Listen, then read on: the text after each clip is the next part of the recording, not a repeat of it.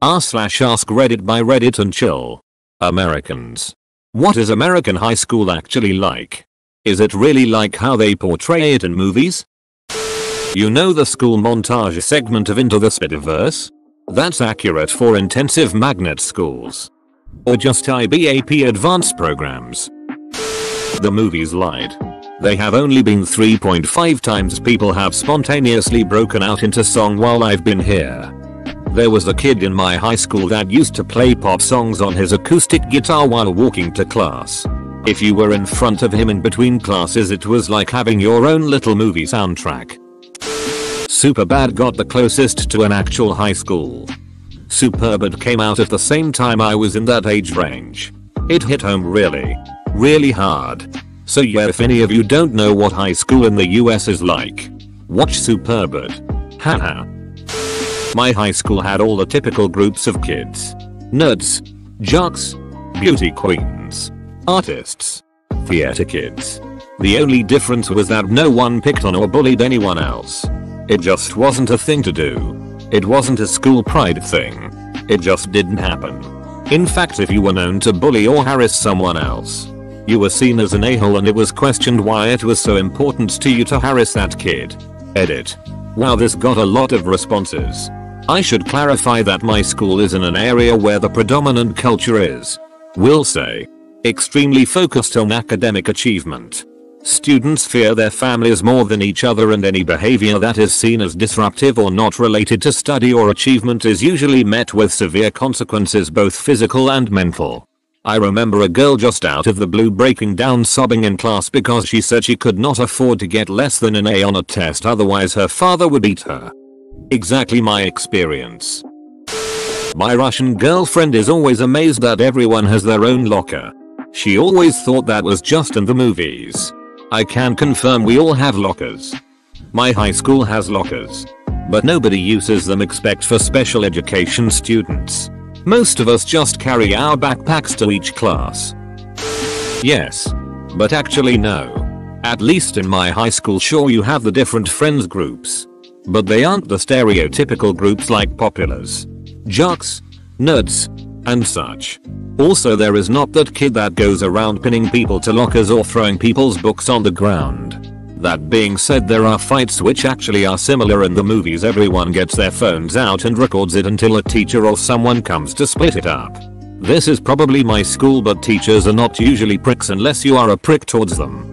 And lunchroom food isn't complete trash either. I mean it's not amazing but it's edible. Edit. So I'm not going through all the comments and say what can just be said as a whole. Everyone saying it's a lie about the food part. Which is fine but you need to remember that we all did and are going to different schools this is just what is happening in my high school at the moment. I think it depended on your school size as well. I went to a school where there were 400 kids a relatively small school. We had our cliques but for the most part we all got along because everyone knew everyone and people were part of multiple cliques. My best friend was a nerd and a jock. We even had a group of kids who pretended they were ducking dragons and would only read the Eragon books for book reports. If you were a dong nobody really wanted to associate with you. Because chance are the dong was making fun of someone's friend group in one way or another. My fiance on the other hand graduated with 400 kids in her class. She didn't even know everyone she graduated with let alone everyone in the entire school.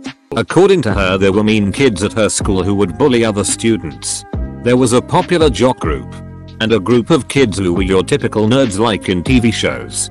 It really depends where you live and how big your school was. Because adding more kids adds anonymity to actions as not as many children would be affected by the bullying of a group of kids. Kind of like bullying on the internet. My parents said, Fast times in Ridgemont High was pretty accurate for back in the day. That being said, now that I think about that, you kinda gross. I was thinking that I'm somewhere between that and the breakfast club and now I feel old. We had too many people to have the typical groups. My graduating class was over 800 and we had about 4000 people in the school.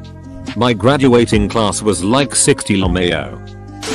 School usually starts at or just after sunrise. You almost never see that in films. There were so many days I went to school in the dark. If you participate in any after school activity then you can go a solid 5 days without seeing the sun depending on if your classrooms have windows. It varies greatly depending on where you live for one thing. For example, where I grew up, American football isn't really a thing that any of the schools in the area have. However, basketball and baseball are pretty big sports. One thing almost universal is that the cliques you see in movies don't really reflect real life. Everything is a lot more fluid and few people fully fit the stereotypes. Most of the jocks, of which technically I could have been considered one. I was starting third baseman on the varsity baseball team, where I went to school tended to be of above average intelligence and didn't particularly pick on anyone. The bullies of the school tended to be your more redneck types, our head cheerleader slash prom queen was a smoking hot blonde. Sure. But she was also one of the nicest people you'd ever meet, especially to quiet and outcast girls, and only once got in trouble when she punched a bully girl who was picking on an overweight freshman girl. Whoa. That cheerleader story went places. Not nearly as exciting and the drama is extra stupid. Plus a lot of people are really immature and I've never met a stereotypical bully or jock or nerd yet. Maybe not a bully or jock. But yeah. I've met a lot of stereotypical nerds.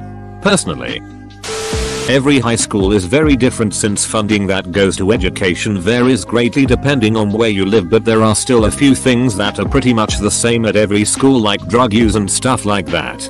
I've also noticed that movies tend to exaggerate the amount of bullying that actually happens at the school. Most bullying tends to be in group rather than out group. Sure every school has the generic bullies that pick on whoever. But they tend to be social outcasts to the extreme themselves. Most bullying tends to be more like hazing among sports teams or the mean girl clique snipping and backstabbing each other in turn. Most bullying is more against people close to them in the social hierarchy, like the rich popular beach is probably just gonna ignore plain Jane. She's going to spend her time backstabbing the slightly less rich popular beach instead. Being nerdy isn't uncool like a lot of movies are portrayed. At least at my high school, 9 years ago. Being smart actually made you part of the popular crowd. I think nerds being uncool is quite outdated, even for 10 years ago. Ironically, nerd culture is now mainstream. I blame Star Wars and the MCU. Our schools are extremely unequal. Some are great. A lot are shit. I've been living abroad for almost a decade and I have to make that point pretty regularly when Europeans ask me about American high schools. I went to a public high school and we had a beachfront swimming pool. Laptops for every student. 20-25 person classes. And just overall ridiculous resources. Other schools in my city had regular shortages of simple teaching materials like textbooks and stuff. Yay we're all 6 feet 2 buff 23 year olds s. No. That's an idealized thing that isn't remotely true.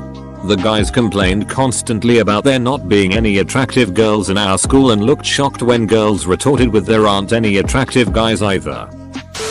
It's exactly how it's portrayed in High School Musical. That movie is as close as you'll get. Break out into a full on song every 5 minutes. A big problem with high school is that almost everyone was background dancers or singers. And rarely ever the main characters. And you never really got a choice of when it was going to happen. So a lot of times you would have to break into song and dance. Not knowing what the hell it was about for like 2 minutes. And all you wanted to do was finish your goddamn sandwich. Worst time was when a love song about finding your prince broke out in biology class. During the dissection of frogs. Yeah. That girl kissed a few. It got awkward. It can be quite close. The breakfast club is still quite relevant and relatable. My school didn't have one particular group of popular kids. Majority of people got along quite well and there was a lot of flow.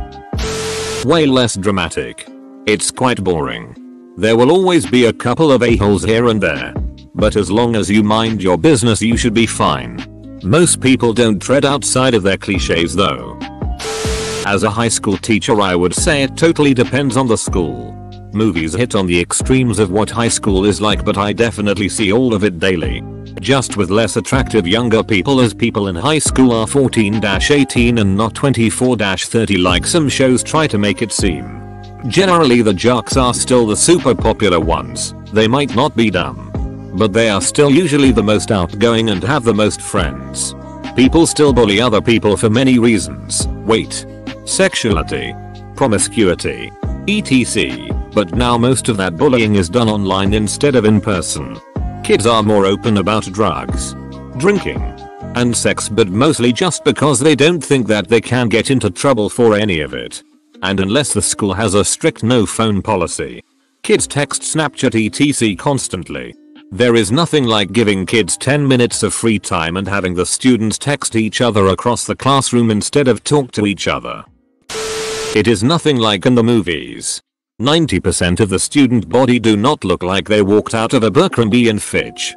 They've got acne. Are actually not in their early 20s playing a teenager.